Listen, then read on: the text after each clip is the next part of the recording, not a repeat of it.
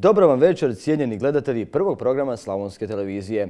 Evo nas kod nove emisije i moram reći posljednje ovo sezonske emisije s kojom ćemo zaključiti i ovu sezonu, malo se preko ljeta odmoriti, a onda, Bože dragi, ako bude sreće i ako bude pameti, nastavljamo naravno novu sezonu. Danas smo pozvali i posebnog gosta, veliki vokal, kažu jedan od najboljih rock vokala ovih prostora, županjac, vokal opće opasnosti Pero Galić. U goste nam stiže i naš profesor dr. Čedomir Kupusi Čedo koji nam se vraća ovdje u studiju, a dolazi nam ni manje ni više nego iz Afrike, točnije iz Tanzanije, iz Zanzibara. S nama je i naš Tošo. Uživajte s nama.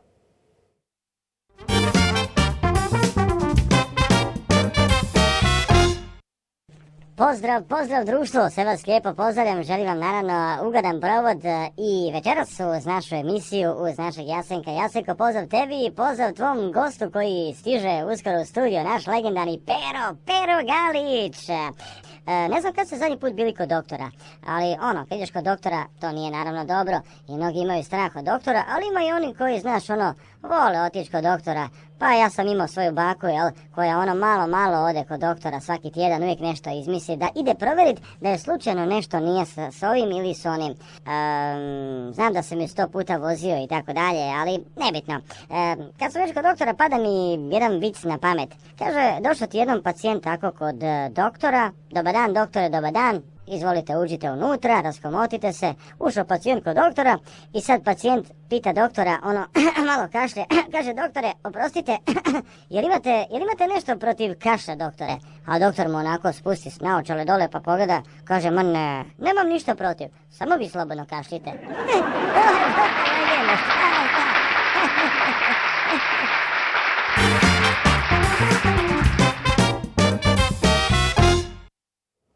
Tako nam kaže naš Tošo, a u studiju nam je stigao naš cijenjeni veliki prijatelj, naš stalni sugovornik i komentator, profesor dr. Čedomir Kupusić. Čedo!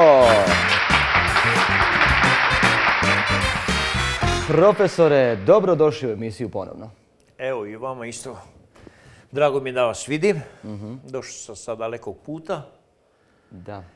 Evo, hvala ti Bože u Slavoniju. Vratili se živi i zdravi, što bi rekao. E, to je najbitnije. Evo, prošli puta smo svoju emisiju ovako telefonom zvali, imali ste mali zdravstvenih problema, odnosno e, novo je to da ste e, saborskim zastupnicima, hrvatskoj javnosti, hrvatskim političarima ponudili svoj mandat na raspolaganje, odnosno e, zatražili ste mandat od saborskih zastupnika, skupljate 76 glasova i rekli ste ni jedan, ni drugi, ni treći neće upravljati državom, vi ste se postavili tako da želite biti novi mandatar hrvatske vlade. Kako za sad teku pregovori imate za sada skupljenih glasova već?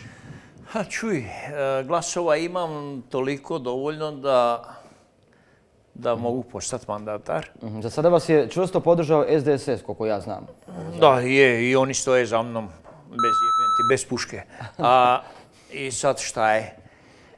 Svako imao virozu za vreme ovakvog. Mhm, mhm. Vi ste se razbolili zapravo i, tu ste malo možda izgubili vremena da, da, da krećete dalje u pregovore, jel, da evo, skupite glasove. Vi očekujete zapravo glasove i HDZ-a i SDP-a i svih manjih stranaka, vi očekujete da vas svi podrže. Pa Čak ste obećali hrvatskoj javnosti ako vas izaberu, za mandatara da, ćete, e, da će Hrvatska osvojiti Europsko nogometno prvenstvo. To ste obećali. Ja govorim da će biti čak možda i prvi, ako ne prvi, drugi sigurno. Mhm. Evo vi nakon ove naše emisije idete odmah direktno u Francusku, u stožer Vatrenih, idete tamo nastaviti pripreme i do finala, Bože moj, jel? Do finala i čuj, ne bi se ni vratio dok ne osvojimo Pehar. Pehar, bilo kakav. Ali prije toga imali ste e, prilike e, otići na jedno putovanje, naravno kao izaslanik i, i Hrvatske predsjednice i Hrvatskog sabora. E, bili ste profesore u Tanzaniji, ni manje ni više nego u Zanzibaru. Zanzibar, Posjetili ste tu zemlju. Kakva je Tanzanija, kako vam se svidjelo tamo? Pa tamo je predivno. Slično kao kod nas isto. I temperatura i mhm. Klima komplet. Ljudi do duše su malo radniji, pošteniji. Sam reću ti, dosta Hrvata ima. Tamo dosta Hrvata ima? tamo sam sreo slatkog jednog. On je taman uh, moleraj. Radio i farbu neku kapiju. I tako stanem. Vidio sam bogati zastava, hajduč. A vi ste išli tamo malo vidjeti kako stoji njihova ekonomija, jesu li oni bolji u, u odnosu na nas, kako je kod njih politika, vlada, pada li ne? Ekonomija je svaka bolja nego naša. Jel te? Čak i u S ovom Tanzaniji. vladom, jel? Čak i u Tanzaniji, da. Tanzani bolje napredniji su bogati nego mi. Jako su poznati kao radišni i raspjevani i rasprosani Raspjevani, ljudi. raspjevani. Plešu jedan poseban ples, to im je ples, čak mogu ti reći, Mhm. ovaj, da kondiciju za rad prije radnog vremena moraš plesati. Plesati, da. I poslije da se opuste. To I onda opuštanje. E, imamo mi i snimki neki koji ste vi snimili e, vašom kamerom, pa će to evo, režija pustiti nešto od toga. E, profesore, e, ono što je zanimljivo, kad ste već otišli tamo, počelo je Europsko nogometno prvenstvo, bili ste tamo nekoliko dana, da tamo ima puno navijača hrvatske reprezentacije. Ima jako puno, pa mogu ti reći da 80% da su Jel te? svi navijači za Hrvatsku. A Šta im je najpoznatije? Najpoznatiji im je Hajduk. Mhm. Zanimljivo I Hajduk je znao. da nije Dinamo, već Hajduk. Da. E, taj, vjerojatno, sreo sam tog slatkoga, on je tamo tarabu jednu farbu. I šmirlo, i bogati, kad unutri 2000 navijača, sve šalovi Hajduka. Jel te, da. Pjeva himna, pjeva, vesele se, pjevaju, piju rakiju.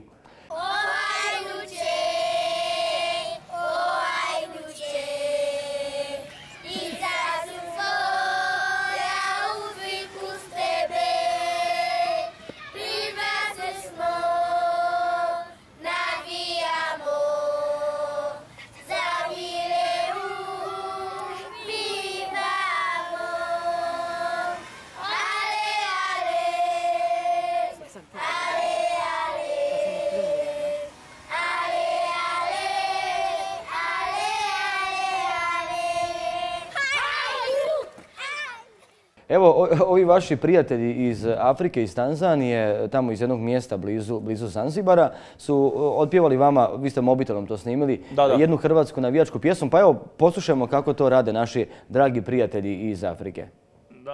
Quiero ser verán, polla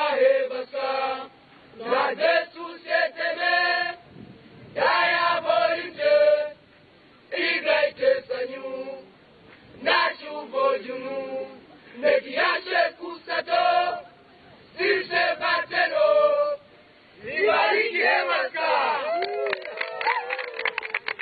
Kažem ti, nisam vjerovao da toliko može biti. Pjevaju, sve znaju, nema šta.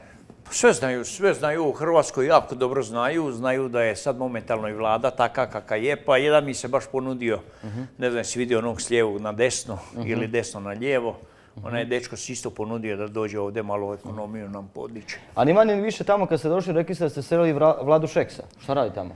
Pa Vladoš e, Šeks je tamo isto omiljen čovjek. e, Navodno da im je ponudio veliki broj e, grožja, kak se zove, ne znam, nasada.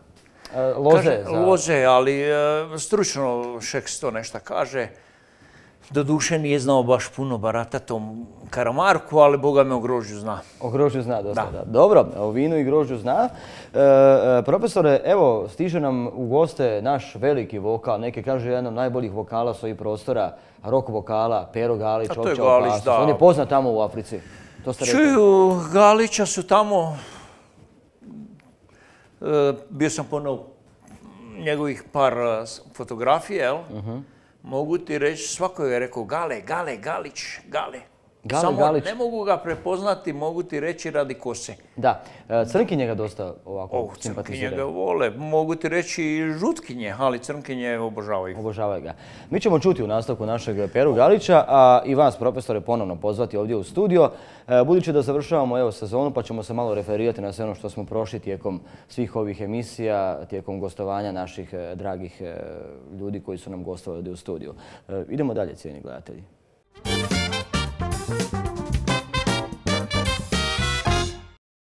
Cijeni gledatelji prvog programa Slavonske televizije, došli smo do trenutka kada ćemo najaviti našeg posebnog gosta. Posebnog e, gosta e, i po tome što nam gostuje u ovoj posljednjoj emisiji e, ove sezone.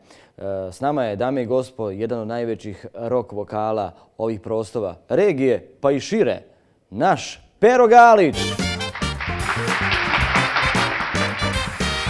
Pero Galić iz Opće opasnosti. Pero, dobrodošao Jesam, u studio Slavonske televizije, dobrodošao u emisiju. Hvala lijepo, bolje vas našao, kako se to kaže. Drago mi je da si odvojio vrijeme, Rado. da si, da si došao kod nas. pa Čekaj, ovo je prvi, a kad ide na drugom?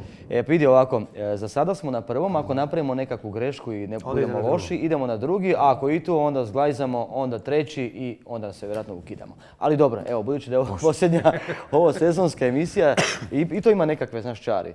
E, budući da je, e, e, vidiš kako je to simbolički je povezano sa Županjom. Dakle, prvi gost u ovoj mojoj emisiji bio mi je Šima e, Jovanovac, koji je dobro. također, naravno, iz, iz tvoga kraja. A evo, Županja, opet s tobom završavamo, ima nekakve simbolike. Da li Ne to- možete vi bez nas, o, borite se vi. o. da, ne možemo, probali smo, ali nismo nikako mogli zaobići ovoga. Ali ovi županjci napadaju sa svih strana. Pero, e, inače, kako si ovih dana?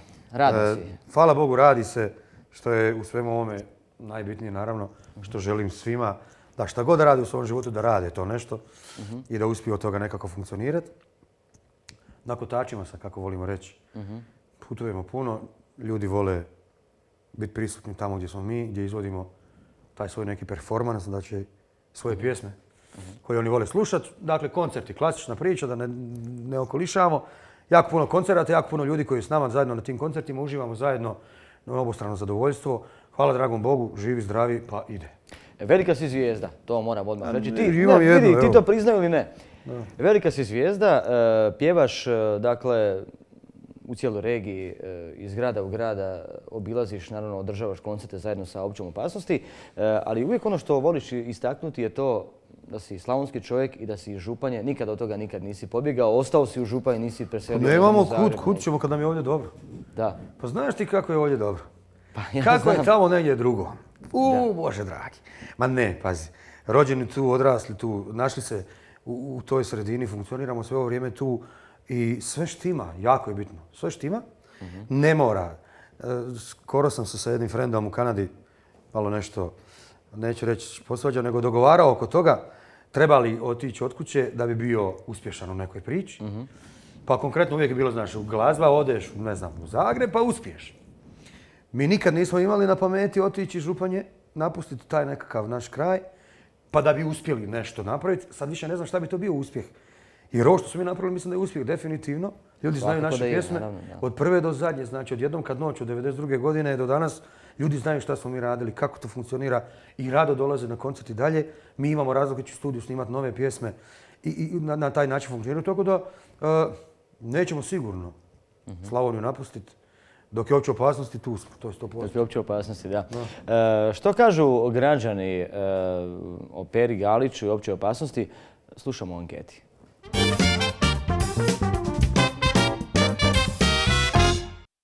Je znate za opću opasnost? Da. Znam. Znam. Da. Znam. Znam, da. Naravno. Kako se zove pjevač? Pa, Pero Galić. Jer volite opću opasnost? Kako se zove pjevač opće opasnost? A, pero... Ona je s kosom i bradom. Pero Galić. Pero... e, A, Pero Galić. Pero, pero, pero, pero. pero Galić. Pero Galić, da. Jer volite opću opasnost? A, naravno da volim uopće. Kako se zove pjevač? A, Pero Galić. Koja mi ne draža pjesma ovako od opće opasnosti? Pobjegao sam. Uzalud sunce sja. Pobjegao sam, toliko se vrtila na CNC-u. Jednom kad noć, onda ne znam, srce zna. Uzalud sunca sja mi je najbolja njihova. Koje su vam pjesme najdraže? Joj. Marija. A, srce zna. A, ove rock balade. Starije nešto. Rijeke tri. Jednom kad noć i ne znam. Sve uglavnom. Bila sam na njihovom koncertu, sviđa mi se jako. Je bilo dobro? Predobro. A, neka najdraža pjesma opće opasnosti? Uzalud sunce sja. Nešto jače od sna, uzalo sunce, sija, klaun, svaka. Najbolji bend. Je ti bolje bio pjevač sa dužom kosom prije ili sad s kratkom? Ja sa dužom. Dugom kosom, naravno, rocker. Duža kosa, duža, duža. Izgleda ko pravi rocker, mislim, ja se ne kužim u to baš, ali eto, valjda. Pa, ovoga, sa dugom kosom je bio onako autentičniji. S dugom.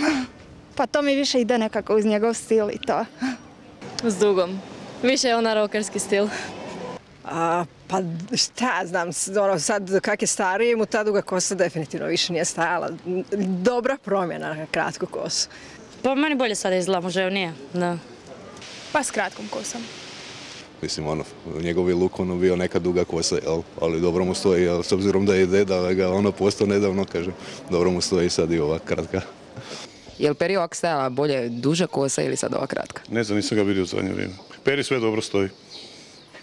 Pa jednako je dobar, bitan je glas i star.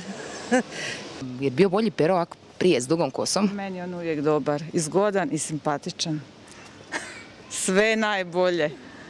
Volite Pero? Volim.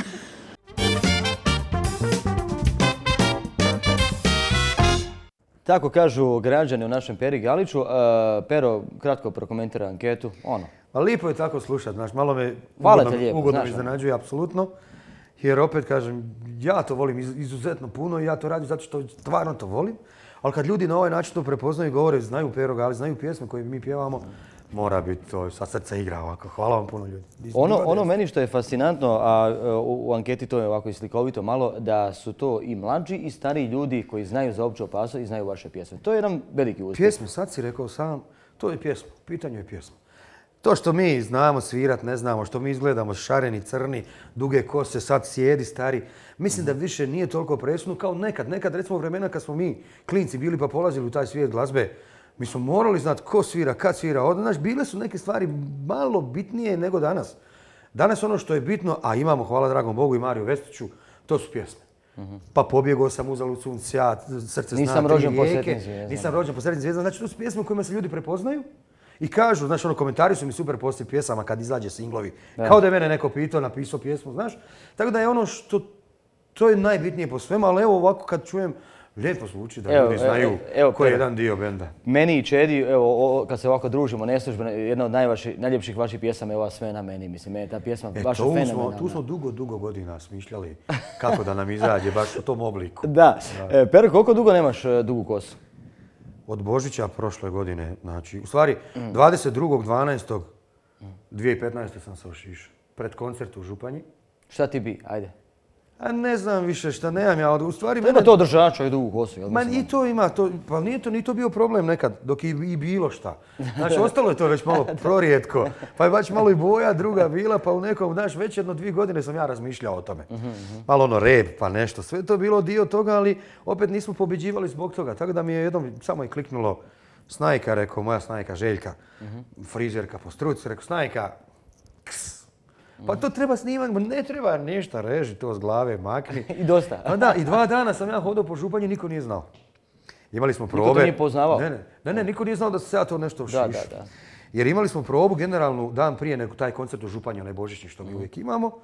I hladno je tu, ja sam kapu navukao na glavu i tu je nešto, znaš, ja gurno sve pod kapu, nema kosa, tu je ona. I ne kuži niko i proba, cijeli dan prošlo i sutra pred koncert ja dolazim. Znači, iznenadilo je sve. Ali je to, valjda, šta ja znam, došlo je. Došlo je Nosi i napravilo gotovo. se, I nije se. mi uopće žao ni krivo, sad je puno lakše ujutro je umivanje i sve zajedno ide. Da. E, prije nego što si došao ovdje e, na snimanje, e, u, u, odnosno na, u ovu našu emisiju, došao si od čovjeka Da, koji koji ti je, jedne koji ti je radio tetovažu, imaš novu tetovažu, Ustao sam sa stolice gdje sam se tetovirao. Smiješ to se pokazati kamerama? Pa smijem, kako ne, imam samo ne znam koliko će se vidjeti sve. Dorađivali smo malo planove koje smo imali. Slaven Kustura, Legenda iz Županje. naš bule, dragi lik. E, moj kolega iz vojske. E, pa kad sam, e, pa ispričak ti. Moj kolega Dok sjedim na stolici govorim požuri, skrati to, dosta idem u, u, u Osijek na televiziju. Šta televizija slabo, je li Jasenko? Jeste. Pa vi ste kolege to Da, po da. krevetu bili. E, dobar lik, ali evo, kažem, uspjeli smo završiti ono što smo naumili. Sad se to malo treba sušiti da se boja malo bolje Ajmo malo, ajmo malo, idemo malo ukratko samo... Dođite Hellboy. Tako je, da. Ako smijem, Naravno da na prvom programu.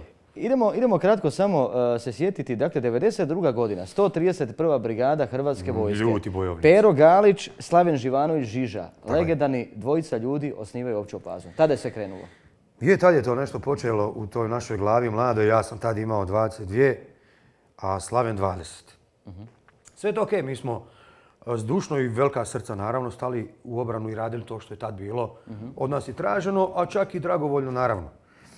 Međutim, ove glave koji danas funkcioniraju na ovaj način tad su funkcioni- funkcionirali isto ovako, pa nismo mi za to ljudi. Nije uopće trebalo biti, sad mi znamo, možemo mi o tome pričati koliko god hoćemo, ali mi klinci, tada klinci nabrijani, mi smo svirali ljuti rock and roll već odavno. Od 85. sam ja u bendu nekom već sa 15 da. godina i mi sviramo rock and roll i sad odjednom je život nešto potpuno drugo. Probali smo mi to, razmišljali dugo, ok, radili smo to što je tad trebalo biti, ali je cijelo vrijeme u glavi bilo, mi moramo ljudi ići dalje svirati, ne možemo mi, znaš, stati tu, pa će to sad biti rat, pa ne znamo šta će biti, šta god da bude, mi moramo biti rokeri, mi smo ljuti rokeri, mi smo to čupe, to su puške, ali to je kosurina, znaš, ono, nabrijani da. klinci na to. Slaven i ja sjedimo i divanimo, imam ja, kaže, nekoliko pjesama koje je napravio, hoće ti doći da mi to probamo odsvirati, da probamo napraviti nešto od toga. Pjesme su domoljubnog karaktera, tad bile vezane za to vrijeme u kojem smo mi našli. Pa je to Ne dirajte županju, uh, Mila Mati, uh, Born to be Soldier of Croatia, Balada za Saleta. U to vrijeme je poginuo još na, jedan naš jako, jako dobar prijatelj Saša. Pa je napisana pjesma i, i to, i znači jednostavno tako jedna kompozicija koja je bila na način, sjeli kod njega u sobi, gitara, probali mu, ma, pomalo, svidjelo se to nama, ima atmosferu koju bi trebalo, mi smo to uspjeli ukomponirati i u to uniforma i sve taj nekakav trenutni život. Pa smo onda te pjesme svirali dok se ljudi malo odmarali poslije smijena i tako dalje. Međutim, to je samo automatski jednostavno sebe poteglo da mi moramo ići dalje. Da mi moramo doći do treba mi nešto jače od sna, do jednom kad noć, do, do, do pjesama, do opće opasnosti koji idu dalje. da. Jer mi smo zato bili određeni. Ja vjerujem da imamo mi neki svoj svak put u životu, koliko mi to možda htjeli priznati ili ne. Pa makar i šta god, pa makar i svirač. Da. Pristali smo. I tad je to pokrenulo se, jedno je došao Igor. U stvari Igor i Slaven su, Igor Kolić, basista. I Slaven su već svirali u svojim nekakvim prijašnjim bendovima. Ali opća opasnost kao ta cijelina koja je tad zvala, onda je to bio znači Igor, u startu Igor, Slaven i ja, Eugen na bubnju i, i, i, kona, i Soljačić Sojka, znači Silvio, stariji brat današnje vlade. I ajmo mi to i pa su krenule probe, onda je to jednostavno u nekakav niz pošlo. Izašla je prva kazeta, ta opća opasnost sa tim domoljubnim pjesmama, ali odmah smo mi to skontali i snimanje u studiju u Zagrebu, Mario Vestić pa pjesme i treba mi nešto jače osna prvi album sniman 93. i 94. vani, onda evo, sad se to vozi do danas. Da bi danas ovoga bili e, pravi frajeri, ono, baš da bi uživali sve ono što ste zamišljali i sanjali Jesmo, mi smo to tako htjeli cijeli život, jako je teško bilo, Isuse Bože. Ubili smo se radeć, probili smo zidova glavom, ne znam koliko, boli sve. Ali ne možeš odustati kad znaš da vrijedi to što radiš i pokazuje danas vrijeme. Nakon 25. je sad već godina pomalo Da. kako se to događa. Vidi se da imaju rezultati, su tu sigurno. Tu bi kratko stao, nikada ne treba odustati. E, Evo, Ne Pero, treba. ja te molim da e, odvojiš evo 30-40 sekundi i da pogledaš jedan video koji smo može. pripremili za naše gledatelje, a posebno za tebe, gdje su nam jedni dečki, jedan mladi bend, oni su inače naši Hrvati e, porijeklom, ali žive u SAD-u.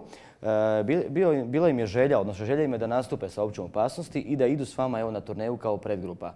Poslali su nam jedan video zapis, pa ja te molim da pogledaš pa da evo daš možda neku sugestiju da li trebaju više vježbat, ne. Da li imaju nekakve šanse da, da ovoga prođu kao predgrupa Da, i da nikad možda ja nisam snime, vidi ovoga Pero da možda snime s tobom nekakav duet. Pa mi Evo, odemo u Ameriku. Da, molim, molim da pogledamo video. Može. Best mic ever. You'll see a side of love you've never known. I'll say it's going down, it's going down. In my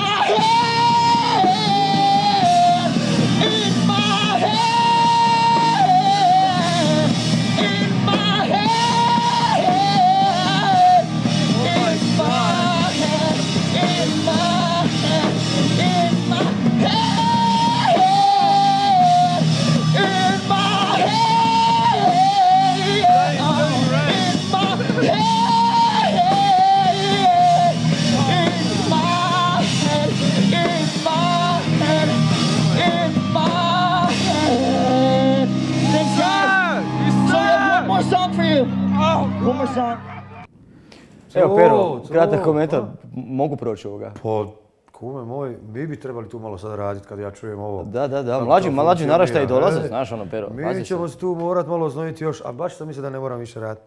Super, vidiš da ima volje, silne Znači, energije, javit treba izaći na ulicu pred ljude da ti tako psuju, a da ti ne odustaneš od nauma. Ok, evo Dobro, dečkima poruka da se javlja na, e, na mail pero.galić opca at xx.x Evo. at gmail2.com. Dvije točke. Tako je, da. Pero, Gubim tlo pod nogama, posljednja je pjesma, posljednji singl koji ste snimili iz vrlo zanimljiv spot u kojem je glumila, evo moram reći, naša, moja draga kolegica sa Slavonske televizije, Sanja Azenić, dakle, sjajna stvar, dobar spot, pušta se, vrti se, ljudi već to onako piju, tako kažem. E, kako volim reći, poklopilo se sve. Što smo mi to nešto smišljali i razmišljali na koji način. Novi singl je, ideja je bila, dakle, novi singl ide van. Nismo znali ni koji, nego je bilo, znam da moramo nešto napraviti. E onda je bilo Mario Vestić sjedi, pa idemo čašica razgovora, pa da vidimo šta ćemo. Pa ide pjesma, jedna nije dobro, treća, tre, peta, baš nam se ne sviđa. Ova je jedna, u jednom svom prvom obliku je došla ova pjesma koja se danas zove Gubim tlo pod nogama. U tom svom nekom prvom obliku je bila koja nas je zagolicala na neku prvu onaj, e, tu smo negdje. E onda je bilo tri teksta, mijenjaj ovo, mijenjaj ono i okej, došla je do pjesme da se pjesma vrti nama da je okej odsvirano. I ima smisla, znači u tom nekom kontekstu šta bi opća mogla odsvirati, to je ta pjesma u, u, tom, u toj domeni, to je ta. Nisu one silne pobjede, ali pjesma koju danas ljudi pjevaju i govore, znači ona je vani par mjeseci, govore da im se jako sviđa pjesma, super im je i tekst i sve, znači to je to. Mi smo napravili. E, treba spot. Pa kako ćemo spot, nema, znaš, e, kao što sam već spomenuo, sve što mi radimo, radimo sami. Znači, nema tu nekih silnih ni pomoći, ni pomoćnika. Hvala Marku Zeljkoviću, Zelji koji je ugradio se isto u priču opće opasnosti, pa svojom dobrom voljom i odrađuje po stvarno ono nekakvim opcijama frendovskim nama to nešto. Međutim, spot mora biti, ne znamo šta će biti spot. Prvo je bilo automobili nekakvi, motori, gore gume, pa onda to nije bilo moguće. Pale kiše, nemamo gdje to snimat. Onda ćemo, ne znam, ideja je bila ludnica neka. Sto, ali idu ideje, to je jako dobro dok se vrte ideje, Da, ideje vi i to opa, klik. da. Imamo ideju da će to biti nešto u ovom obliku. Doktor, mi dođemo, nije dobro, dobro im je, pomozite, ne možete im pomoći, to je, gotovi su kriza. Ovako, onako, znaš, i sad je to silna borba, ali imamo mi nit, ali kud ćemo s tim? Dobro mi, zar bi mi trebali biti glumci? Pa dobro, moramo, naš šest, ali treba nam neko drugi. E onda se tu nešto iskombiniralo da je došlo do, do, do Sanje, jer ju pozna Branimir, pa Marko, pa nešto, kombinacije i imamo, mi smo došli ujutro na snimanje, pardon, a ne znamo šta će biti. I stvarno, nismo znali uopće dok se nije pojavila i Sanja i cijela neka priča, Marko kaže, e, to tu, to tu, to tako, to ćemo ovako ide spot. I jesmo mi, cijeli dan smo se mi borili oko toga, zatvorili smo dom zdravlja u Županji, niko se tada nije liječio, Niko ne, ne, taj dan nema liječenja, samo mi moramo prijeki lijek dobiti. I tako da se to iskombiniralo, da je ispalo interesantno, nama zanimljivo, ali vidim da ljudi govore da im je veselo, je sad, usput što je to tako kako je, pa svi govore, jes vam super spot. Da. I znaš što rekao, a pjesma, spot je dobar. Znaš, tako da ono, manje više sad je to odvuklo, ali dobro, u svoju stranu. Bitno da je veselo, ljudi govore da je veselo, da im se sviđa. Moving je, e, pjesma ima to svoje što govori, ko se našao ili nije, mi smo se pomalo već prepoznali, tako da ide, Idemo da. pogledati spot, onda se vraćamo na razgovor s našim gostom.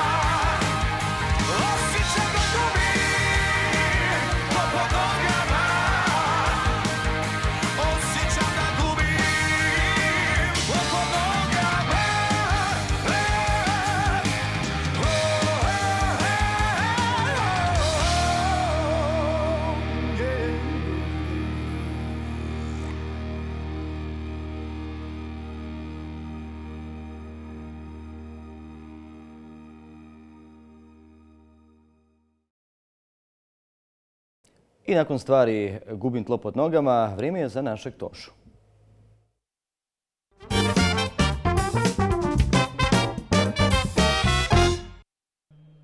Evo, hvala Bogu, hvala Bogu pa je školska godina iza nas. Sad školarci mogu malo odahnuti, jel tako naši dragi školarci? Sad možete lijepo opustiti se na ovim ljetnim praznicima, imate vremena tamo sve do rujna, do devetog mjeseca kad počinje nova školska godina, pa naravno iskoristite ove dane e, i ljeto koje je pred vama. E, ali ono, kad razgovaramo o školi, kaže jednom tako mali perica zakasnio u školu. I sad, naravno, zakasnio u školu, učitelj ga prekori pa ga pita, pa dobro, jesi ti normalan perice? Pa zašto si tako kasno došao u školu? Uvijek nešto kasniš. Ajde da čujem koji je sad danas bio razlog. A perica onako tiho odgovori, ma znate, znate učitelju, morao sam kravu odvest pod bika, znate, pa sam zato zakasnio. A učitelj ga onako pogleda ispod oka, kaže, pa šta to nije mogao tvoj tata napraviti? A Perica onako slega na menima i onako srameživo kaže, ma naravno da je mogao učitelju, ali znate, Bik to ipak bolje radi.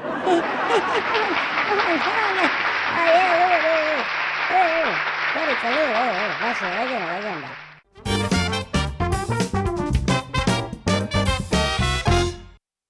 S nama je i dalje Pero Galić iz Opće opasnosti. E, Pero, ono što je zanimljivo, a vezano je uz tebe, da si vrlo rano, ali doista vrlo rano, čak si možda i rekorder u tome kad je riječ o estradi, postao djed. Da. Pa dobro, nije to mojom zaslugom. nešto, Ali dobro. Ali da. Ali sam se isto tako vrlo rano i oženio. Mhm. Ovaj, 92. godine kad je nastala opća opasnost. Dok su granate e, e, Da, da, da. padale, Tad ti si se ja tako da, a imali 22 znači godine, Joanka i ja. Mhm. Požurili ili šta god. Mi se jako već dugo i znamo. Prije toga smo se poznavali. I došlo je vrijeme da i probam i to tako jer ako i završimo neslavno u ta doba ratna, znaš, neće biti dobro, mora neš biti. Pa ostati ono loza, jel kako to već ide? Da, Galićeva. Pa da, i onda je to bilo onda je ženitba, pa i djeca, pa je došla i Daja. Uh, uh, uh, 93. Sebastian 96. Međutim, Daja vidjela valjda da to tako ide, pa se ona sa 18 već udala i rodila, rodila sebi sina Davida, nama unuka. Presretan sam, naravno. Bez obzira na cijelu situaciju, kako se to razvija i razvijalo. E, Mi, čini mi se da nismo baš super svjesni da smo mi dobili dar stvori život. Što je nemoguće. Vi možete raditi što god hoćete od ove tehnike. 42 godine, dakle 42 si godine sam ja e, imao, je- kad si postao dijete. Da, kad je David došao na svijet. E, negdje u njihovim kalkulacijama to nešto u glazbi se vrtilo. Nema, mislim da nije bilo mlađeg glazbenika da je postao dijete. Meni je to čast dika i drago mi je u stvari šta je, eno ga sad već ima četiri, skoro i pol godine.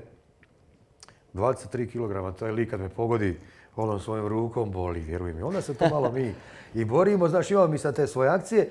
Igra je zanimljivo, je, vratilo je malo priču unazad, ne unazad da, da bude unazad loše, nego smirilo je malo situaciju, jer došli smo do ono nekog, znaš, ono, postalo je sve okej, muva se, ide dalje. Čovjek je vratio malo nazad, da ipak treba ustati, da treba skočiti, treba poskočiti, treba, treba leći dole, pogledat malo svijet iz te neke perspektive koju smo zaboravili. Da. Rasla su i naša djeca, znači moja. Ali i to vrijeme koje je tako, ali to je bilo samo, recimo, to nekako normalno je to išlo. Da, A s ovim je to malo drugačije, tako da, evo, Jedi, sad me zove pomalo i Jedi. Djed, pa onda djede Pero, e, moraš ovoga paziti na, na, na unuka, nema druge i čuvati ga. Jel to redovno i činiš ovoga? Pa nemam ja šta on radi, šta on hoće, to je to. Nema tu Da, da ti samo si Pa tamo, jel? Znam šta on hoće i kako on to hoće, a mi to poštujemo. Pero, šta inače radiš u slobodno vrijeme, dakle kad se odmaraš između koncerta e, i koncerta? Većinom su koncerti pretpostavljam vikendom, osim neki dani kada budu dani neke općine, pa Ma pretpostavljam ja bih volio da mi sviramo od ponedjeljka do ponedjeljka, to bi onda tvoj posao kao moj tvoj. Da, da, da, da. Ali nije to tako još uvijek i, i, i ajde, ali vikendi su ono akcija i radno. Mhm. Ali to se pospaja, 3-4 dana su to uglavnom negdje u Da, da. putu, tako da i ono malo vremena što ostane kući, a, probamo nešto odmarat, kao znaš malo. Ali Mislim da kuhaš kod to. kuće, jel čistiš, jel usisavaš, šta radiš kod kuće? Pa Sve što rade normalni muževi. Znači Da, tako. sve to što ide, ide i meni. Pa dobro, pazi, to je ovaj, u dogovoru u zajednici koje živimo. Iskuham ponekad. Jo. Ne usisavam, ne peglam to, ne, ne ništa od toga. Sviram, zabavljam se sa unukom. Sin je tu isto već veliki junak. 20 i njemu godina. Pa se malo u glazbi i to kotrljam, ali uglavnom je glazba. Stalno je, nije ti kroz cijelu priču je nije ti je glazba. Ako ne aktivno pozornica, onda su to kuća, pa ne znam, istraživanja, pretraživanja, slušanja, traži novo. Biva ili vjeruj mi, ili vjeruj mi, trenutak bilo koji dan. Da, odspavaš. Malo od- odmori glava jer umor je ovo. Pero, brate moj. e, djeca su već velike, evo sina, 20 godina, e, e, sin Da, već on 20 dva- godina, da, 23. čer udana, imaš, e, imaš unuka. Je li, ima to fora ono što imaju starog ono rokera? Znaš ono, obično, znaš, kad gledaju roditelji, šta ti radi dida, ono, znaš, gleda novine, čita, prati, ne znam, dnevnik, a ono, imaju, imaju ovoga, ima, ima djeda, odnosno imaju tatu koji ono, nabrijani, ono, hard rocker. Pa ne Kako znam, to pazi. doživljavaju? Ili društvo ono kaže, ono, blago tebi je, tebi je stari, ono, A ne znam šta to vrijedi kad su oni svi u kući, stvarno, sve svakako, svi njegovi frendovi njihovi. Mhm. E, Znaš šta je dobro, šta je dobro ove male sredine, spomenuli smo i dok smo sjedili tamo. Mhm. Nije to već toliko uopće nešto ni bitno. Znači, sve do me znaju, u Županji me svi već poznaju tolike silne godine, znaju da sam ja to sve isto. Svo Mhm. vrijeme, ja sam pjevao njima od 15. svoje godine, znači Da, cijelu da, da. Županju. I oni mene sta- znaju kao da sam ja to takav i ne može se promašiti je Sebastian Perin. Aha, znamo. Znači, nije to sad ono nešto otećemo Sebastijana jer je tata zvijezda.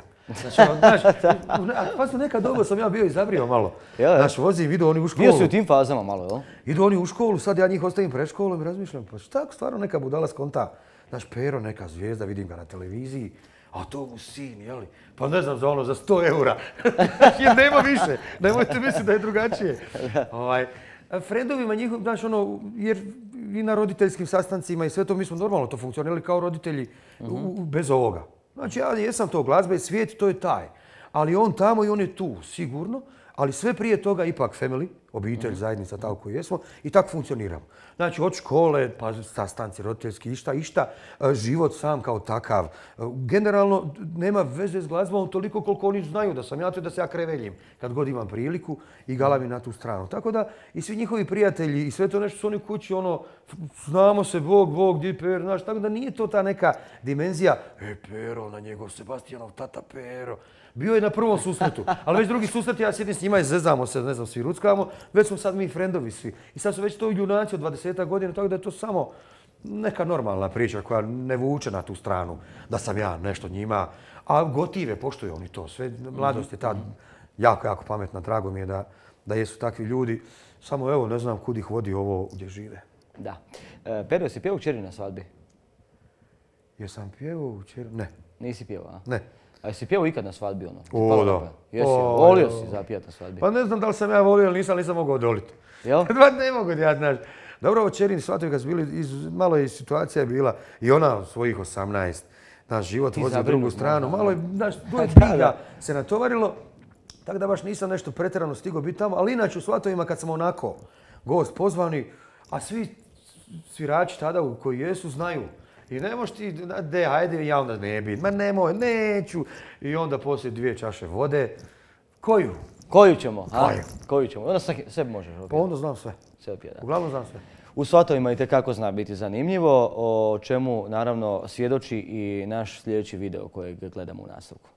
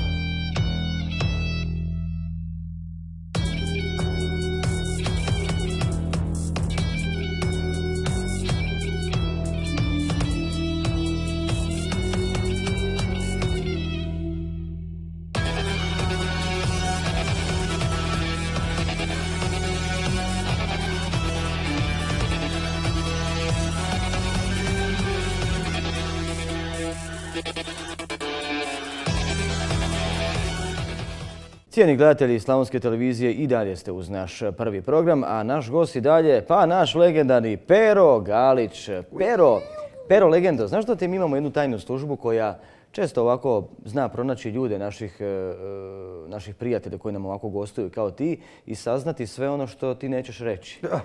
I naša tajna služba, vjerovao ili ne, Svezna je pronašla jednu osobu koja će o tebi nešto više reći, ono što nas je zanimalo. E, ja molimo, kažem sve. molimo da, da naša Svezna e, pokaže što je doznala o Peri Galiću.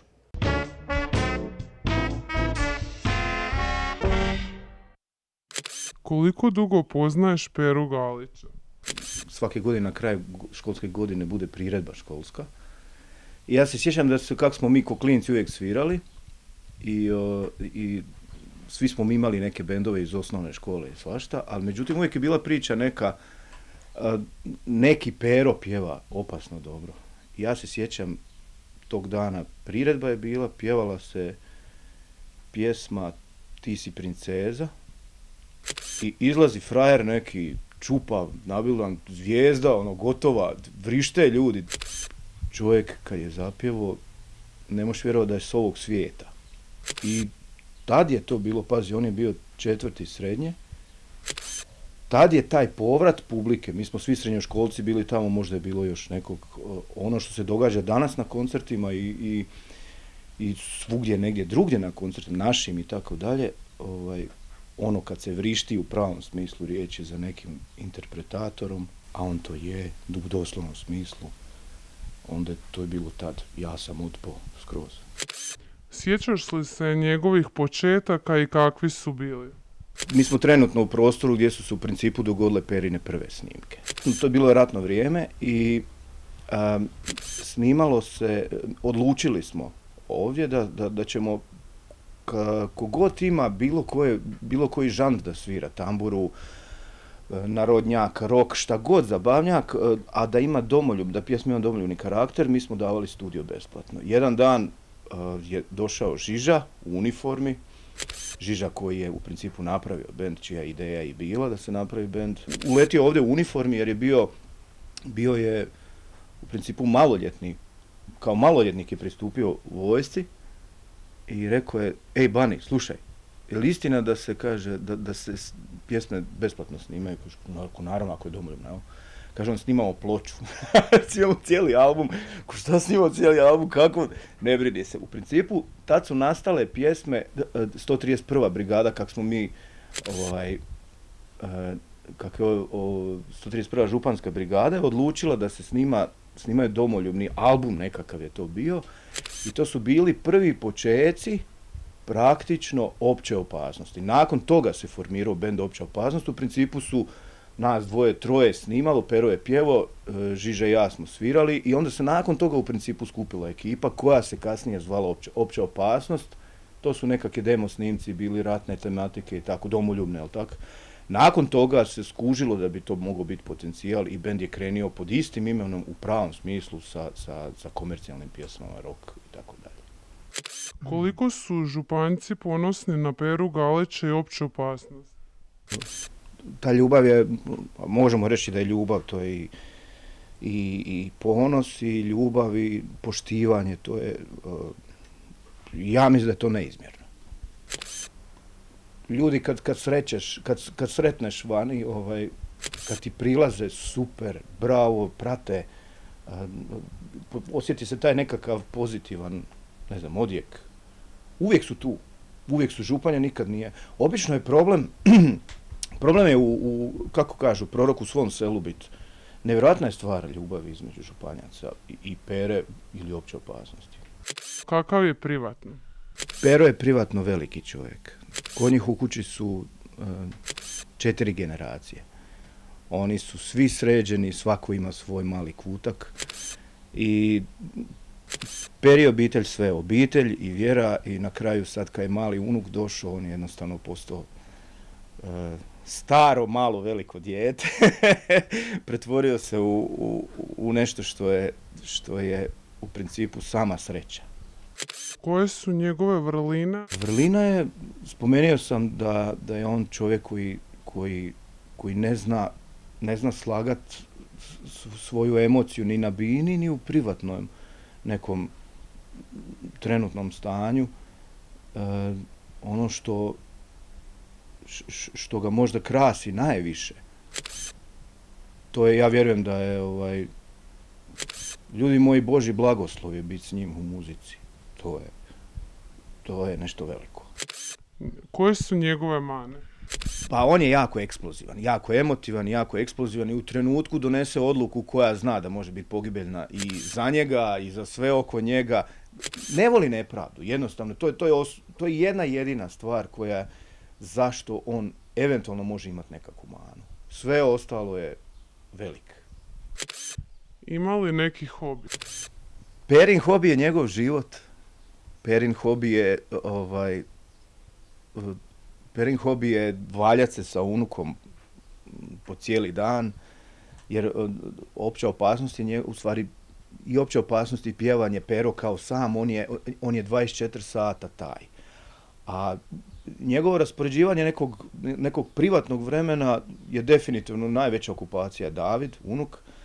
I ono što je on u pravom smislu, to je narodski čovjek, jer on obožava druženje, obožava, obožava ovaj kraj odakle je, obožava ljude oko sebe, prijatelje. E, Ima on puno većih istinskih prijatelja nego ovo što smo mi band. Mi smo ekipa, mi, što se kaže, prštimo krv zajedno znoj i tako dalje, ali ima on svojih pravih, ono, intimnih prijatelja koji dijeli, koje je baš ono njegovo. Ono što, što, je, što je njegov hobi, to je, to je nje, to- ja mislim da je njegov hobi život. Njegov život. Je li emotivan? Strašno. Pero je strašno emotivan. Pero je... Jednostavno je da čovjek nema emociju, ne bi dotako ne bi dotako onoga kome prenosi ono o čem pjeva. Ja se sjećam, snimali smo nedavno ne- je- jednu pjesmu Usluga prijateljima je bilo, postoji jedan košarkaški klub koji smo, onako, znamo se i idemo im snimiti nekakvu, pero, zamolili su da Pero otpjeva za nekakvu himnu, tako dalje, znači, čovjek je krenuo pjevat o, o košarkaškoj lopti od nekom gradu i mi smo se krenuli ježit, pa ne možeš biti stroj, da, da, da te, ne, da, naježili smo se od, interpret, od, od, od toga nečega. To samo može negdje odakle izlazi velika emocija. Pero je, ne da je emotivan, to, ono, emotivnost je drugo ime. Kako reagira na dobru, a kako na lošu vijest? Kratak ću biti. Na dobru vijest, pijanska. Na lošu vijest, fight. Što mu je zaštitni znak?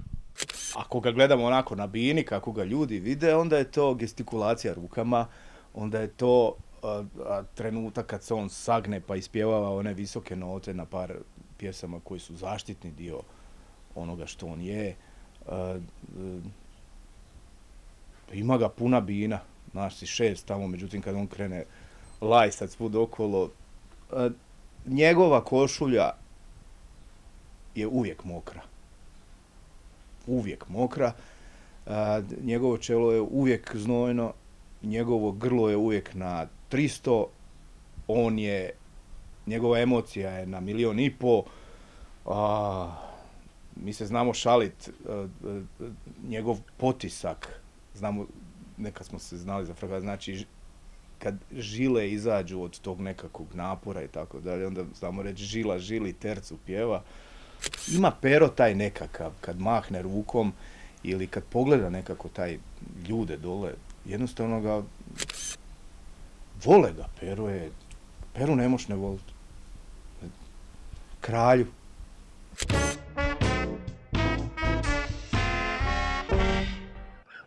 Tako kaže Branimir Jovanovac, klavijaturist opće opasnosti. Je li u pravu ovoga Bani sve što je rekao?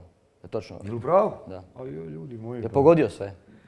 Pa ja sam to uglavnom na taj način, jesam ja to. A, možda te brojke nekako iz- izrekao Da, da. zvuče i ogromno i sve, ali uistinu dajem sve od sebe. Ja sam, u ovome sam 100%, bez obzira kako god to zvuči i izgleda. Mhm. Pa i na pozornici i, kad nisam na pozornici, a, to sam sebi tako nekako odredio.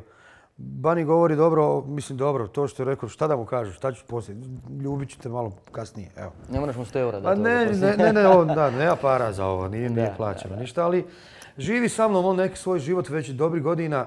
Prošli smo jako puno zajedno, tako da, znaš, ne može, on je to isto tako vidio, osjetio, doživio na, na, na svoj način, ali vidimo, znači, funkcionira to tako. I govori valjda ono što vidi, čuje, zna, nema tu nikakve mudrosti, nisam ja ništa bitno drugačije. Volim ja i galamiti, biti ovakav i onakav, ali generalno srce će izgoriti za to što je. Ono što mi je zanimljivo vezano uz tebe i opću opasnost je to da uh, nastupat ste doista svugdje. Zapravo ste pristupačni svugdje. Mi često imamo rockere u Hrvatskoj koji ono vrlo rijetko nastupaju live, više se rade studijski ili tek tu i tamo nastupe u nekom gradu.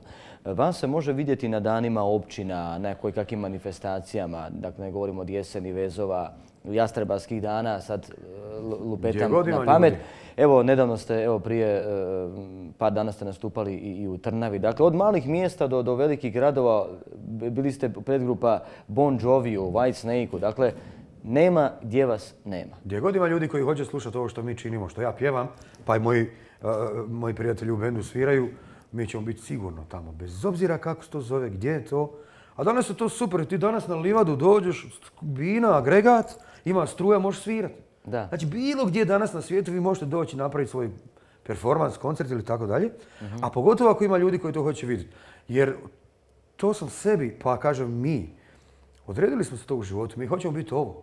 A ovo ako budemo sjedili kući i gledali kako se to negdje drugdje događa, onda nismo mi to. Mi nismo onda svirači koji danonoćno vježbaju ako nisu na koncertima. Znači kad je koncert, da, ali kad imamo mjesta i vremena probe su, ajmo još, pa još se znojiti, pa još žica, puca, prsti, glas, a. Znači onda mi to ne- napravimo na način da odemo svirat, pa od Trnave do, ne znam, Dubrovnika ili gdje. Onda mi to nismo u istinu, onda lažemo sebi, pa i drugima. Znači, bez obzira kako, halo, kad, može, ako smo slobodni, sigurno dolazimo. Znači, jer tu su ljudi koji hoće čuti. Pobjegao sam uzelo sunce ja jednom kad noć, opća opasnost. Oni to hoće čuti i vidjeti uživo. Šta bi dao da mogu, a dao, hvalio sam se Bogu, kad je Vajsnik došao u Osijek. Pa ljudi kući dođe bend koji ja izuzetno volim, cijeli svoj život poštujem i on je meni taj nekakav gore. Pa Bon Jovi, pa na istoj pozornici mi. Pa to je ovo, u ovim uvjetima to, upravo što mi radimo. Oni su došli u, u Zagreb, Bon Jovi ne znaju gdje je Zagreb, pričaju gdje vam je, znači je to u Turskoj. Znači, ali na taj način. Nisu ni sigurni Pa da, nisu bili sigurni gdje su uopće došli svirati to što rade. Ali su došli jer moraju biti tu. A mi da ne bi ovdje to napravili, pa to je ludost. A pogotovo, kažem, ti, ti silni ljudi koji to hoće čuti i jako, jako velik broj mladih ljudi. Znači mladi, djece koja su s nama i na koncertima i da im ne dođem, jer oni ne mogu doći u Zagreb na koncert, ali mogu u Trnavu doći na. Pa jesu. Znači dvije, tri, pet godina, pa to je to. I onda mi, pa moramo svirati ljudi, ne možemo mi sjeti kući. Sjajno. E, mi smo za tebe u nastavku naše emisije prvo priredili e, e, fotografije jednih osoba, dakle likove koji ćeš mi kratko prokomentirati u rečenici. Da ćemo čisto malo, evo kako, kako razmišljaš. Ako prepoznam. Fotografija broj 1, odnosno fotka broj 1. Slide number Tu one. nam je, ko nam je tu? Axl Rose. Axl. Čudo. Voliš ga? Čudo u čovjeka 100%. U toj glavi ima neka, ono, ne, ne mogu to napisati, ali sad pogotovo ovo zadnje što sam čuo sa ACDC-em, mislim da je pobjedio. Jel? Idemo dalje. Rade. Rade Šerbeću. Sreli smo se prije jednog godinu dana, prvi puta uživo. Znam ga od, kroz sve filmovi, to Da, nešto, da. cijelu priču znam i apsolutno cijelim rad i- i to što je on. Ali smo se i sreli jednom i sjedili ovako uživo i jako mi je bilo drago sjediti pored tog čovjeka. Bio je nekakav ono, to se ne može vidjeti ni opisati, ali ima nešto što nam je okej da imamo negdje blizu gdje i on prepoznaje nas kao bend i gotivi, poštuje što mi radimo. Tako da samo dobro o, tom čovjeku, na kraju krajeva svijet ga je prihvatio kao takvog, šta bi ja trebao reći, više ili manje. Dalje. Mile Kekin. Mile, e, drag čovjek, isto bori svoju borbu, to je jako, jako dobro. I, i to pivo, samo da je malo hladnije. Je malo hladnije. Imamo još. Prince Harry. Ovo, je, ovo su ti veliki, do, ne znam. Nisi, nisi mu još pjevao ovoga? Nismo još tulumarili zajedno, on i ja. Tako da ne znam puno o njima, ali čuo sam da je brijač. Da je brijač, jel? Možda bi To se mogli sresti. To, to je dobra Pa strana. da, što ne, pa jedan je život, zašto ne družiti ljudima kad ih već sretniš? Idemo dalje. E, Šaban Šaulić. O, neka sam njegove pjesme pjevao i tu. Jesi i to? O, da. Znao si i to otpjevati? Šta ti je, pa ja znam sve. Sve znaš pjesme. Pošto repertoar da pr- tvoj stavi pa ćeš vidjeti. Da. Znam ovoga, pazi. Znači, e, došao sam kući u trećem razredu, u drugom razredu osnovne škole i rekao starcima upisao sam se u glazbenu školu. Mhm. Ne može. Što ne može, ja sam se upisao, gotova je stvar, nema tu profesor je došao, pita ko ću ja prvi. Da. Znači glazba odmah. I onda je bilo otac kad je razmišljao, hm, šta, kako, šta si ti, pa ja bi znaš klavir, ko ne, ne, ne, kaže, može ali harmonika. Ma može i harmonika, ali ja idem u glazbenu školu i od tada i harmonika je bila i to je super. Ja sam se harmonike razvuko, stari moj. Razvlačio si baš ona. U, pukle su dvije, na ramenima su dvije i pukle. Koliko je to bilo, miline i dragosti. Tako da poznam i ovaj cijeli opus bud siguran. Ajde, bilo je onih i crvenih i gore, bilo je tu svega. Evo. Otac ima Škodu, u Škodu pred, naprijed je gepek, ide harmonika, op, i mene iza i mi idemo. Kod rodbine, da, da, da, i onda pero. Pero Tako da znam i Šabana i apsolutno poštujem, taj čovjek zna što radi, to je sigurno. Nakon silnih godina čujemo mi sve. Da, idemo dalje. Ivo Josipović, bivši predsjednik. Skladatelj. A bivši predsjednik, oprostite. Ali ne znam, nisam sreo gospodina. Nisi Ivo. Nisam sreo gospodina. Na taj način, e, ono sve što je bio, dok je bio, nije me Bog zna pobjedilo, moram priznat, ali vjerojatno će to izaći jednog dana. Mhm. Možemo dalje. Kolinda, Grabar Kitarović. A i mi imamo jednog lijepog predsjednika, ako niš drugo u svemu tome, ali dobro, ženu poznaju, žena je bila u tom svijetu već prije nas Mhm. i mislim da može, da može ovaj, reći nekoliko riječi o ovoj zemlji. Ne bi nam bilo sutra bolje. Mhm. Idemo dalje. Ivo Gregurević. Komšija. Mi smo preko puta Sava, Sava Da. ovako, mi se gledamo kroz dvorište. Mhm. Junak mog ovoga isto života. Jako sam se veselio njegovim ulogama, pogotovo od oni, od Velog mista tamo, još davno, one serije Da, kad se da, da, pojavio kao papuš, kako je on bio? Ja, baš dragi, papun, nije papun, nebitno. Ali od prvih ti njegovih dana, jer taj je čovjek po meni iskren do kraja. Kad on to radi, mislim da radi stvarno baš zato. Mhm. Idemo dalje. Denzel Washington. A spasio one neke vlakove, ono nešto, on je to bio neki junak ovih filmova. Sad da li u životu tako Mhm. srećemo se i mi jednom na jednom pecanju. pa. Idemo dalje. Evo, i Da, najmiliji. Kim Jong-un. Strašno. Da neko toliko može to voliti, to meni nije jasno. Nije ti jasno. Ali vole ljudi, šta će? Ali ovoga, sad malo gledamo ovoga, tvoju frizuru i njegovu ovoga... Čiju? Neke malo su slične. Da, nemoj, molim te, ni boja, ni oblik. ništa Pa nije. ni glava, vidi kako njegova, vidi moja malo utegnuta. On je lijepo, za, ko pravi slavonac izgleda. Da, da, je da? original. Zapravo On je. je u stvari original. original Slavonac. Ne, ja, ja sam doselio. E, Savu preplivo, da. Pero, evo, mic po mic, minuta po minuta, stigao smo sam mi laganini do kraja e, ovog našeg druženja na prvom programu Slavonske televizije, jel tako? Tako je, reprizira na drugom, svaki drugi dan. E, evo za kraj možda da nam kažeš e, što te čeka sljedeće, je se šta priprema, nekakav novi materijal, je se nešto snima, koncerti, pretpostavljam da će ljetno biti radno. Ljeto je u akciji, ljeto je, hvala Bogu dragom, ima u rasporedu dosta koncerata, dakle, dosta nastupa, druženja sa dragim ljudima, dragom publikom koju sam neizmjerno zahvalan za sve ovo što su nam podrška ovih godina. Jer naravno, ko bi mi svirali ako oni to ne vole i nisu tu. A, znači, koncerti kao takvi imaju na rasporedu na stranici opće opasnosti gdje smo, kad smo i kako smo. Možete provjeriti, evo, rado vas vidim i veselim se susretu. Apsolutno idem dalje, znači priča, idemo nove pjesme. Nadamo se do jeseni da ćemo uspjeti izaći sa još jednim singlom. Uh, ali evo, to je ovih dana, opet kaže Mario, razmišlja tamo negdje kući ili na pecanju, ne znam više sad gdje. Radio se I dok novi... gleda utakmicu, ili utakmica, pa mu to da neku motiv novi, znaš. Da, da. Ovoga, dakle, nove pjesme sigurno. U pripremi je album, znači u tom smjeru smo sad. Za dogodine, nadam se. Mhm. A onda ono vremena što ostaje su, nadam se nekom jednom u 25 godina mirnom roštilju. Jel tako? Da. I evo za kraj, e, želimo čuti tvoje mišljenje, Pero, pa ćemo e, e, te jednostavno pustiti da, da, da odeš iz našega studija. Profesor dr. Čedomir Kupusić Čedo, naš dragi sugovornik, stalni komentator i tvoj poznanik, znate se već dugi niz godina, evo ponudio se kao novi mandatar, dakle da on preuzme stvar u svoje ruke, traži 76 ruku, misliš da bi on bio dobar premijer? Što ne? Čovjek zna. Pa što ne čovjek iz naroda, on sigurno zna kako je ovom narodu nego oni koji misle da znaju. Da. Tako da, zašto ne dat primjer? Evo, obećao je i hrvatskom narodu e, i to ako, ako ga izaberu, da će, da će hrvatska reprezentacija osvojiti europsko prvenstvo. Ne može biti bolje. Ne može biti bolje. Onda glas. Onda svakog Ako glasa. je pro... Jer svi oni televizori koji ste kupili dobit ćete i džabe. Pero, hvala ti lijepo na gostovanju emisiji. A mi cijeni gledatelji idemo dalje. Dobro večer želimo Slavoniju, zemljo napačena. Nije nam lako ovo reći, ali tako je. Ova nas vlada ili pati ili gnjavi, ali Boga mi najgorije, nemamo je. Bez Slavonije neće biti vlade, vjerujte mi, kad može Karamarko kast, vjerujte mi imamo toliko glasova, ono nema bogati ni 50, a možda i 70 nema. Ali šta je tu je? Evo, bit će pošteno, a i pošteno je što je rekao da će otići.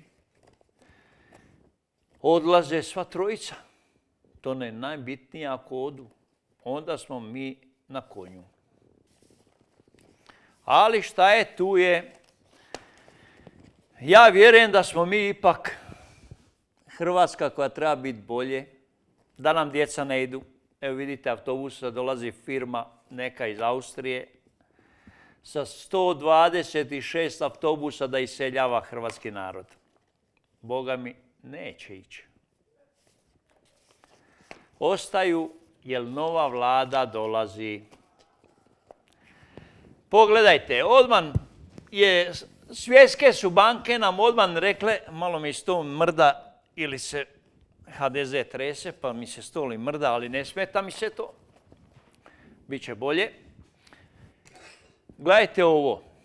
Banka svjetska kaže odmah daje, ako se vlada promijeni, da svjetska banka daje toliko novaca da hrvatski narod ne može pokrast koliko će oni dati. Hvala ti Bože dragi. Ali šta je tu je? Karamarko ode, sretno mu bilo, Petrov ode liječit i njemu sretno bilo, Orešković isto ode i njemu sretno bilo, ja dođe, e i meni sretno bilo, Boga mi. Ali, ponovo, šta je tu je? Biće mi do pomoćnik, ministar glavni u hrvatskoj vladi, slatki. Bržeg čovjeka nema i radnijeg. On ide sto na sto unazad, ali bitno je da ide. I šta imamo dalje?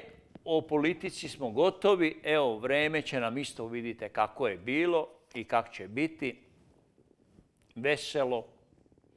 Kiša danas, ako padne, pada. Ako ne padne, ne pada. Snijeg sigurno neće pada, to svi mi baš javljaju. Ako baš padne, onda će pasti, ali vjerujem da neće, jer to dosta je toplo. Prolaze nam dani, evo godišnji se pripremaju. I šta bi rekao? Evo, gospodin Ivan Netić kaže, da li će nas slavonska televizija ponovo primiti? Ja kažem, lega, vjeruj, 100% nas prima. Ali za čistače. Ali on kaže, nemoj baš tako. Ja kažem, zašto? Kaže, ne, ne. Oni imaju automatske, kako se to zove, robote. Kaže, oni usavači, ti, ti, ti, ti, ti, ti, ti. Očiste brzinski. To je lijepo, Boga mi. Znači, i tu nam je, Boga mi, teška situacija. Ali šta je tu je? Ljudi, zahvaljujem vam ovo cijelo vrijeme. Bitno je nama da smo mi duže izdržali nego Hrvatska prošla vlada. To nam je najbitnije. Je bilo šest mjeseci, nije lako bilo. Ali Slavonskoj televiziji nije lako bilo izdržati s nama. Mi smo se trudili da popravimo, ali dali su nam ponovo popravak. Kažu, može još jedan. Slučajno, bolje će biti vjerojatno onda. Ništa, evo, hvala vam lijepa gledatelji svih i svih regija i svijeta osvakle što ste nas pratili. Želim vam sve najljepše ugođaje ljetne da lijepo provedete s djecom, unučadima i sa svima. Vlada će nam doći, budite na, sigurno ja vjerujem da hoće 100% biti i, i da nam kreće ka boljeme. Evo, hvala vam lijepa uz Slavonsku televiziju iz e, dvojice Mudonja i Đakova.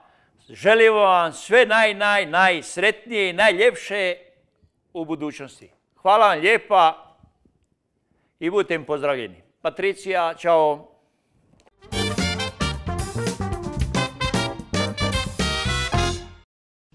Posljednji vic večeras i toliko od mene. E, kaže, e, ide ti mali e, Perica ulicom, ono, ide Perica ulicom i sretne jednu gospođu, ono, koja je šetala, pa je pita, oprostite gospođo, može jedno pitanje?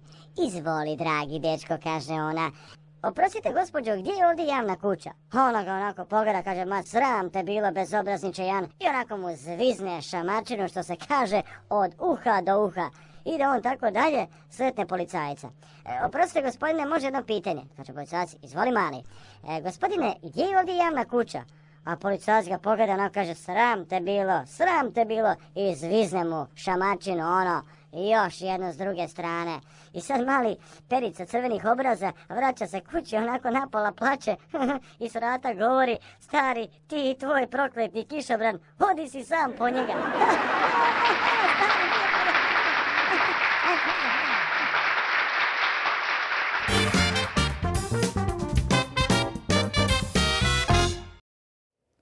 Dragi naši, cijeni gledatelji, u studiju nam je ponovno stigao naš stalni sugovornik i komentator, moj dragi, pa i prijatelj tijekom svih ovih, naravno, emisija sa čovjek iz prijatelji s našim profesorom. S nama je profesor Čedo. Profesore, evo čuli ste Peru Galića, znate ga, malte ne od mali nogu, tamo od mali nogu od rata ga znate kad su počeli pjevati opće Ja ga znam kad je imao šest godina. Jel? Onda je onako pjevušio. Mhm, mhm, mhm. Ali sad pjeva.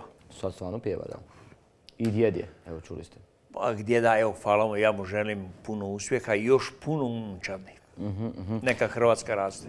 Koje su vam pjesme njegove, ono, baš naj... Pa čuj, njegova je najpoznatija ona pjesma... Pijete, mislim da je najpoznatija njegova pjesma ona I dođi Lolo ili ona, kak se ona, sicam te kafano, nešto tako. Ono. Kad on ono otpjeva. Pa je. Dobro, možda to baš nije njegova... A nije njegova, al- al- ali mislim da je. A je, da, dobro, možda ja. Mislim. on, ja sam ga par puta privatno vidio u Svatimo, možda je nekad zapjevao ovako, znaš. Da, da, da, da. Ali pjeva, pa to je sala padala dole. Jel? Au, mislim odbacanje čaša, pa to je bilo bogati, veselje živo. E, profesore, evo, e, emisija po emisija i evo sa ovim gostovanjima mi lagano stigo smo zaključiti jednu sezonu, naravno od Morice preko ljeta, a onda ćemo vidjeti smisliti ako nas ne budu izbrisali ili tako prebaciti neki treći program. Prekriži se, ja sam mislio da će nas poslije druge emisije Izbaciti van. Ja sam iskreno mislio, ali evo, izdržali smo nekako, profesore. Ne, mi jesmo izdržali, ali mislim bolje, Slavonska televizija je dobro Da, izdržala. Ja sam vjerovao da će koji ova vlada, Evo, evo, evo, evo, stvarno hvala glavnoj urednici, hvala e, direktorici e, Slavonske televizije. Ma ja ću tebi reći hvala ovima što- nas kite s ovim nakitima, bogati zvučnicima. Njima je, boga mi hvala. Inače da ovog nema šta vi, ništa. Ajmo jedan mali kratki profesor rezime. Bilo je puno ljudi koji su prošli kroz ovaj studio. Svi su bili dragi gosti, dobri sugovornici. Ne, ne bi mogli nikog posebno izdvojiti, svi su bili krasni. Pa evo i naš naravno Pero koji Pa je zaključio čuj, sezonu. svi su zbiljan bili dragi, veseli, evo, za pohvale velike. Ipak mi je bila najdraža, najdraža, evo reću, susjetka naša iz Bosne i Hercegovine, jel? Hanka Paldum. Ona mi je bila nekako... E, Vi ste profesor rekli da su vam ženski gosti bili ovako najzanimljiviji koji su bili. Pa čuj, mudonje nisu sigurni. Nisu... Znači, ženski dio vam je nekako najbolje paše. Da, volim, volim ženski dio, volim i... Volite žene, mislim, aj, ajmo to Ne da javno volim žene, volim grudi, evo. Aha. Ne mogu reći žene. To vam se ovako najviše sviđa. To, to je nekako onako pri Aha. prirodi, Da, Božje strane. jel? Da, inače ste e, poznati po tome da ste često pričali ovako privatno, ajde mogu reći, mislim među nama, ne mora se Ma među nama, sad da. nek ne ide previše Da, inače daleko. ste čovjek koji vrlo, vrlo često prakticira vođenje ljubavi i to čak e, jedanput do dva put dnevno, a kad su ljetni, ljetni dani i tri put. Zašto po ljetu tri put? Pa zato radi temperature. Šta vam ta paše temperature? Da, da, čuj, ljepše je. Ljepše, je, aha. Ne treba mm, grijanje. Mhm. E, profesore, kakvi su vam planovi za ljeto ovoga? E, Ljeto će biti radno za vas ili će biti nešto Tako je, odmora? radno. Ljeto će biti radno. Vidiš da vlada ne radi, ja moram raditi. Da, da, da, da, da. Evo tu ste. Biće radno, malo ćemo otići se na kupanje, malo... Evo i Pero Galić vam je dao podršku za novog mandatara, ja vam želim puno sreće. Da, on mi je, evo, drago mi je da me on podržava i mm, rekao je doći čak i otpjevati ako treba šta. Na vaš, jel tako, Da, da, neki skup, da. Mislim, Pero je, sin se županja dići, nema tu Da. šta.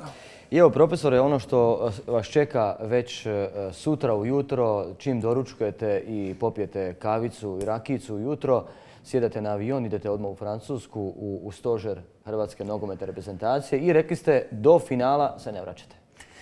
Do finala, do zadnje utakmice ne idem nazad, jel? Mhm, Spremni se čak preskočiti Đakovačke vezove zbog toga. Pa to mi je teško, teško reći, jer Đakovački vezovi su poznatiji nego svjetsko prvenstvo ili evropsko. To je poznatije. Da, da, da. To, to cijeli svijet gleda. Mhm, mhm. Posebno preko slavonske televizije. Evo, nečak mi je u Kanadi, on kaže, evo, sam za taj dan čeka tri dana. Da. Oduševljen.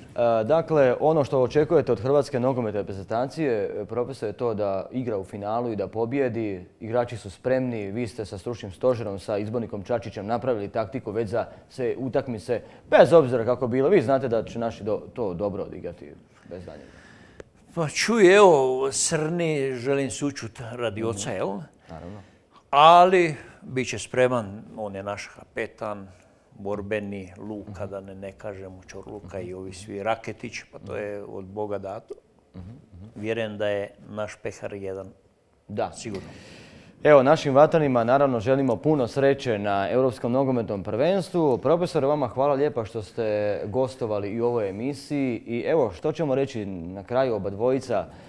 Želimo odjaviti ovu emisiju, poželjeti vam ugodno ljeto, da se lijepo odmarate, naravno gledajući program Slavonske televizije.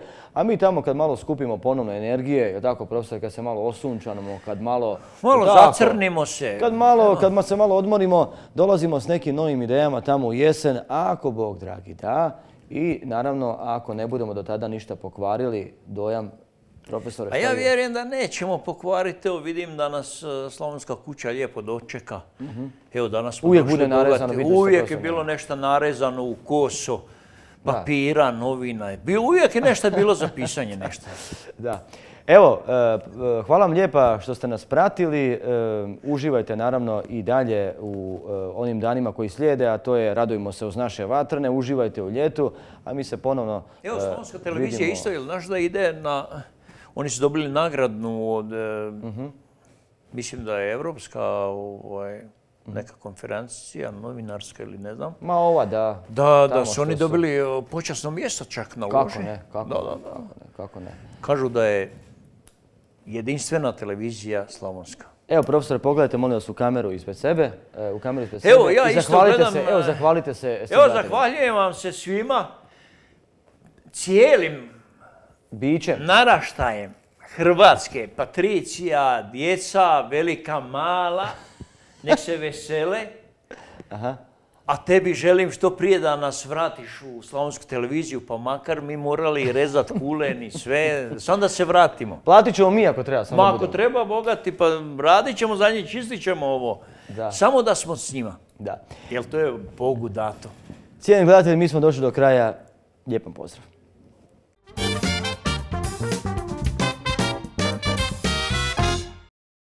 Cijeni gledatelji Slavonske televizije, uživajte u ljetu, uživajte u ljetnim mjesecima, uživajte uz ljetne ritmove, afričke ritmove, vruće ritmove koje vam donosi profesor dr. Čedomir Kupusić Čedo. Hvala ti lijepa. Evo, ovo je ples, e, tu sam e, učio tamo 15 dana. Njihov najnoviji ples.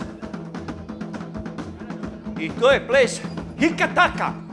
Jel, sa Hikatakom, ovdje je malo u njihovom e, nošnji, to je njihova nošnja od e, kape, ali to je ples Hikataka hopa! Hika, haka, haka, ija! Taka, taka, aho! Tika! Oh!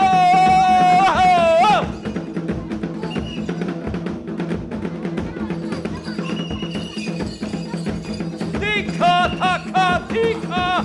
Oh!